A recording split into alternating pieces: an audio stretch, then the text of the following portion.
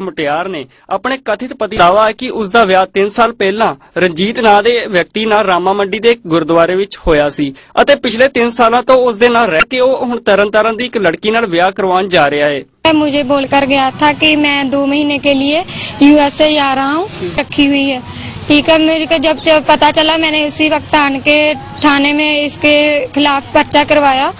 और अब और ये मान नहीं रहा अभी ना कोई जवाब ही दे रहा है ना थाने में आ रहा है ਸਿਮਰਜੀਤ ਨੇ ਇਲਜ਼ਾਮ ਲਗਾਇਆ ਕਿ ਰਣਜੀਤ ਨੇ ਉਸ ਨੂੰ ਬਾਤ ਵੀ ਕਰਾਇਆ प्रेगनेंसी थी और इसने ना मेरे को घर पे ही ले आके गर्भपात की गोलियां खवा दी और मेरे पास उनकी रिपोर्ट है ਮੰਡੀ ਪੁਲਿਸ ਥਾਣੇ ਵਿੱਚ ਕੀਤੀ ਹੈ ਪੁਲਿਸ ਦਾ ਕਹਿਣਾ ਹੈ ਕਿ ਉਹ ਮਾਮਲੇ ਦੀ ਜਾਂਚ ਕਰ ਰਹੀ ਹੈ ਅਤੇ ਇਸ ਪੂਰੇ ਮਾਮਲੇ ਵਿੱਚ ਕਾਨੂੰਨ ਦੇ ਮੁਤਾਬਕ ਕਾਰਵਾਈ ਕੀਤੀ ਜਾਵੇਗੀ ਇਨਕੁਆਇਰੀ ਕਰਨ ਤੋਂ ਬਾਅਦ ਜੋ ਵੀ ਕਾਰਵਾਈ ਬਣਦੀ ਉਹ ਅਹ, ਕੀਤੀ ਜਾਊਗੀ ਫਿਲਹਾਲ ਜਿਸ ਪ੍ਰੇਮੀ ਲਈ ਸਿਮਰਜੀਤ ਨੇ ਆਪਣਾ ਘਰ ਛੱਡਿਆ, ਉਹੀ ਪ੍ਰੇਮੀ ਉਸਦੇ ਜੀ ਇਨਸਾਫ ਲਈ ਅਧਿਕਾਰੀਆਂ ਦੇ ਦਫ਼ਤਰ ਵਿੱਚ ਚੱਕਰ ਕੱਟ ਰਹੀ